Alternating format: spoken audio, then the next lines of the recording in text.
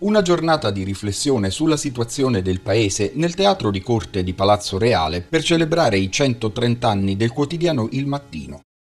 I sindaci di Napoli e Roma, Manfredi e Gualtieri, raffrontano le loro esperienze alla guida delle due maggiori metropoli del centro-sud,